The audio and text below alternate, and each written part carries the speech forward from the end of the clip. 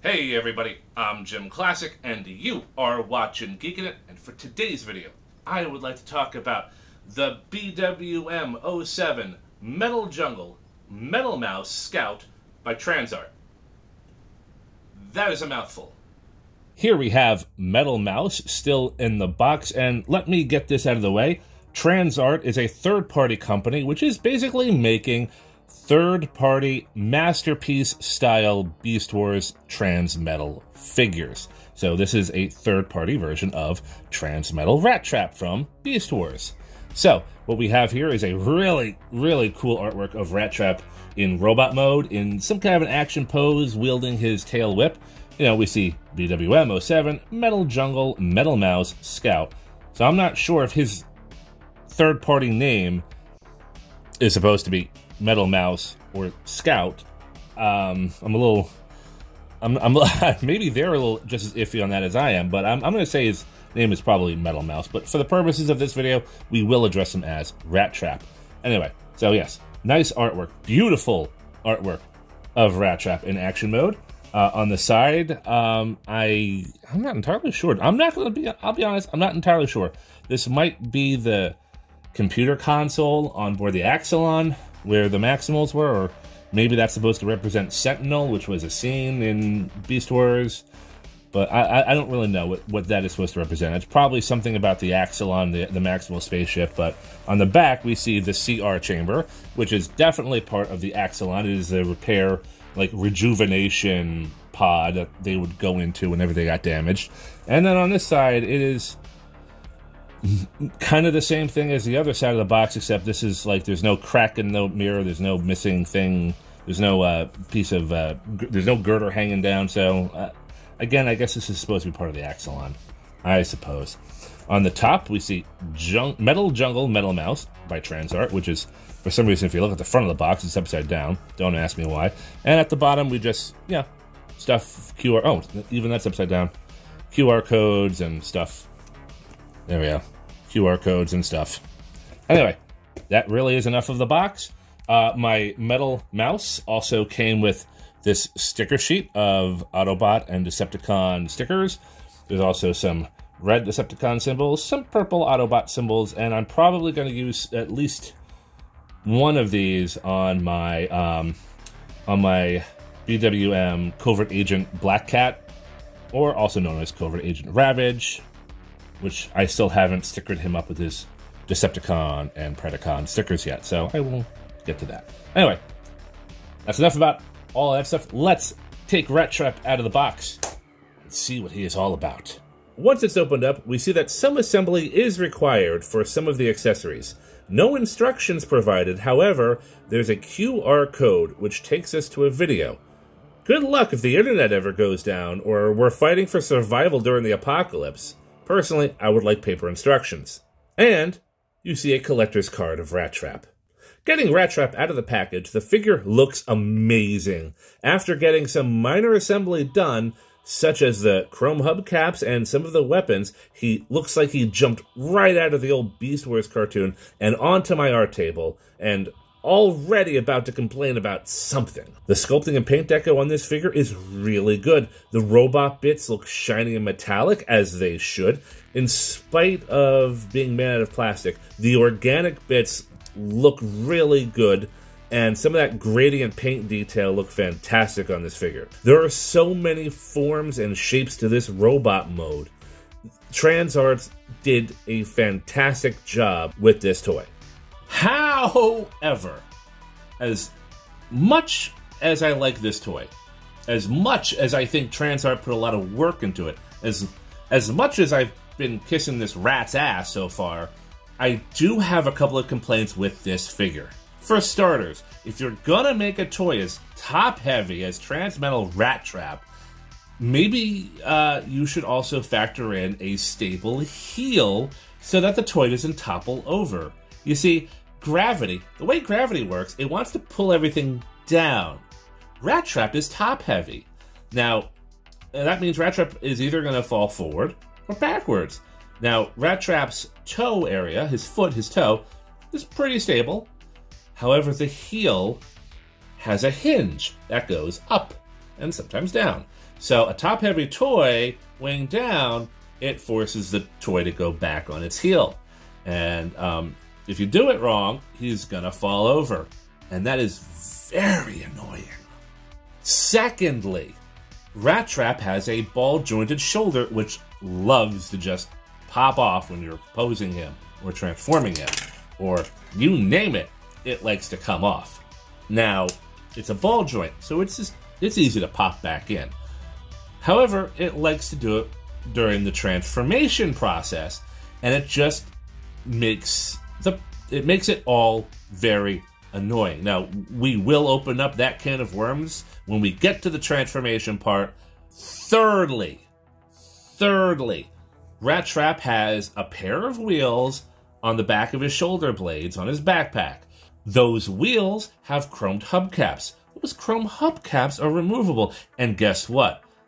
They come off for any reason. They are only held together by these tiny, like three millimeter ports, and they just pop off. So let's say we talk about the heel spur. When Rat Trap falls over, the hubcaps just fly off. And so you have multiple problems going on at once here, and that's not fun. That's not fun when the figure just falls over and just falls apart on you. Now, the hubcaps will be mentioned again when I get to the accessories, but this is a big nuisance which often tested my patience. Rat Trap comes with quite a few accessories, starting with his gun. It's got a clean paint job and its handle folds up. I haven't figured out why exactly. I couldn't find any storage space on the figure, but maybe there is some and I just wasn't being very observant. Metal tail lance, which has a very sharp plastic tip.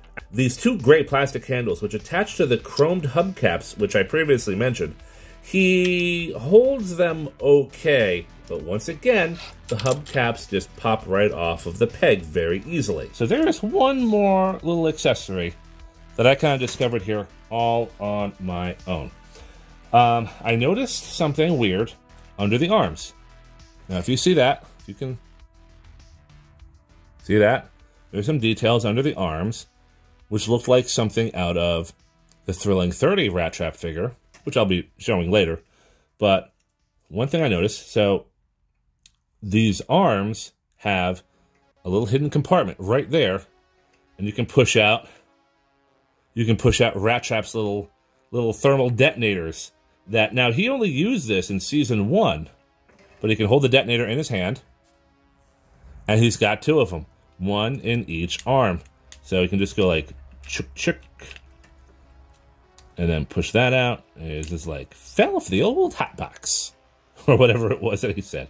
You know, but you know, Rat, this is a cool little feature because I don't even think Rat Trap demonstrated I don't think he used these things in season two or three, but it's really nice that they're that they're here for this uh, for this figure. So these are very tiny.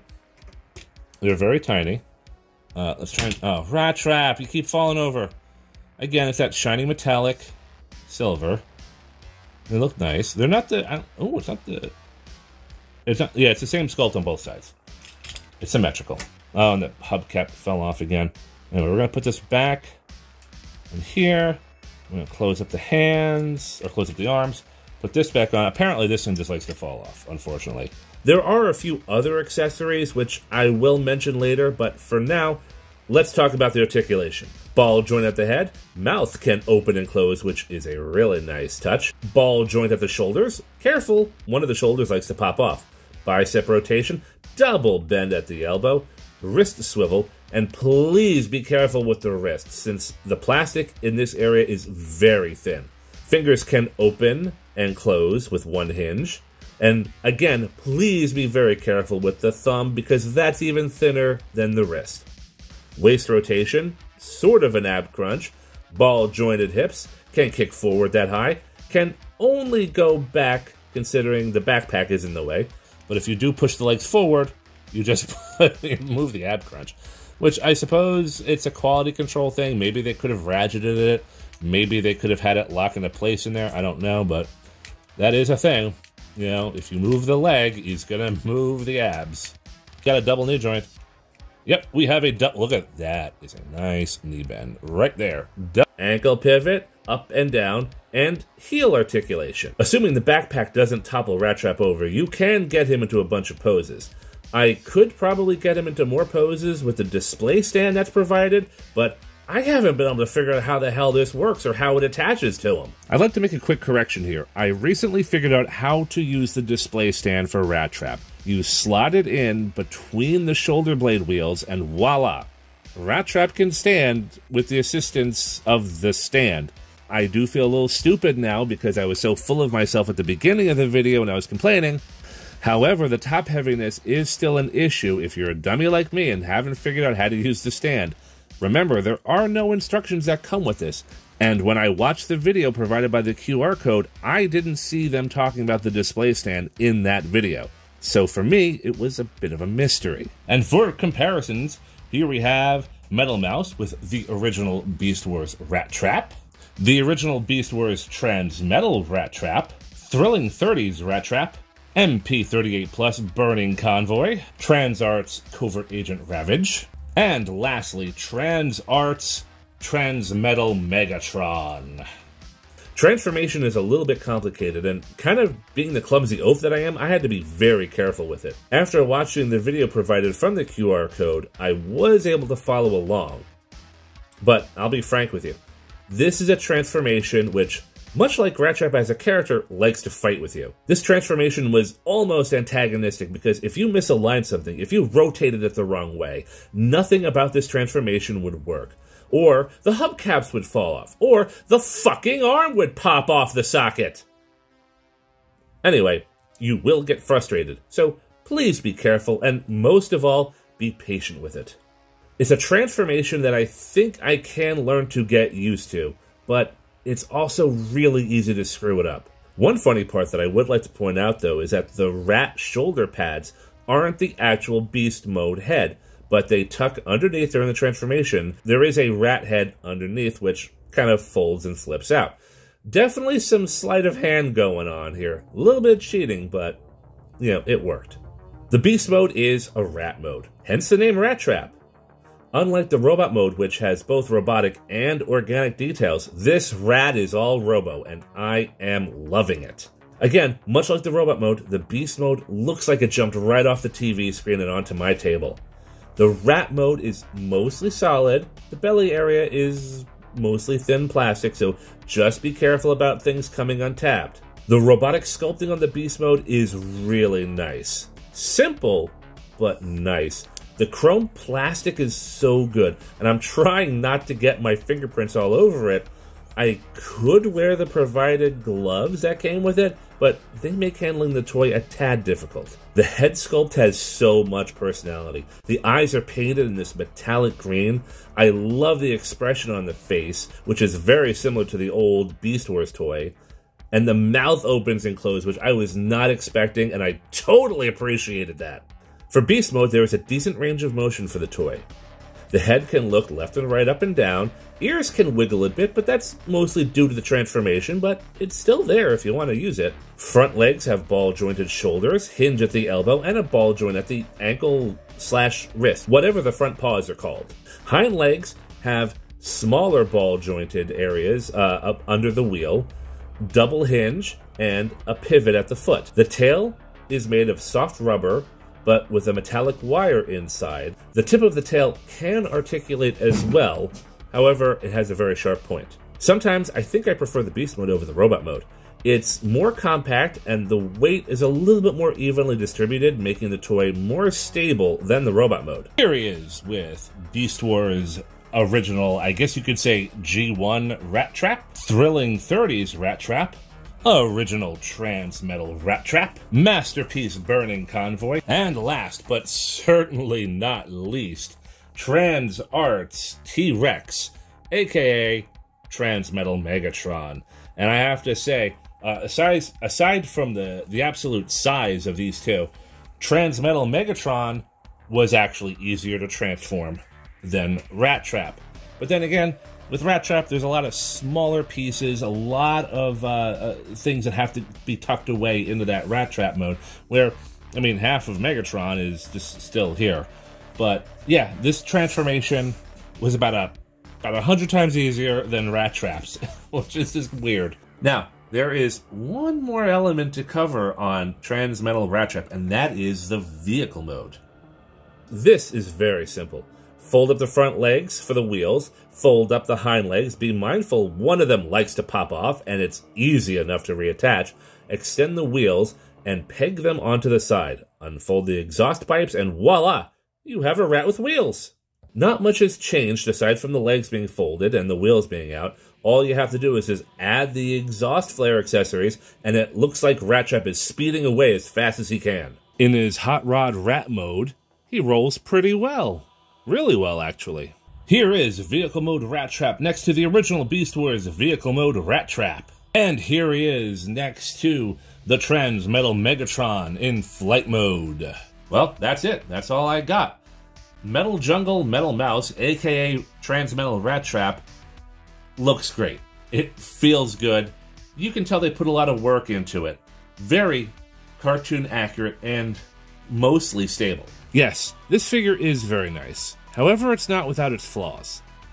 The hubcaps are very loose and will fall off the toy with the slightest of movement. His stability is pretty bad without being propped up by the display stand. And the arm popping off can be a real nuisance.